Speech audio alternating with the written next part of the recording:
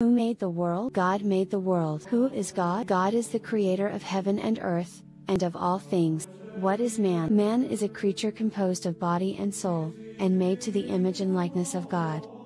Is this likeness in the body or in the soul?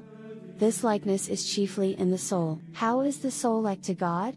The soul is like God because it is a spirit that will never die, and has understanding and free will. Why did God make you? Made me to know Him, to love Him, and to serve Him in this world, and to be happy with Him forever in heaven. What must we do to save our souls?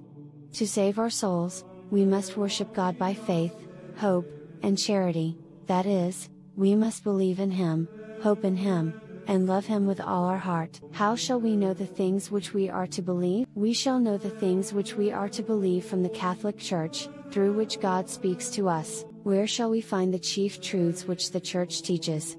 We shall find the chief truths which the Church teaches in the Apostles' Creed. Say the Apostles' Creed I believe in God, the Father Almighty, Creator of heaven and earth, and in Jesus Christ, His only Son, our Lord, who was conceived by the Holy Ghost, born of the Virgin Mary, suffered under Pontius Pilate, was crucified, died, and was buried.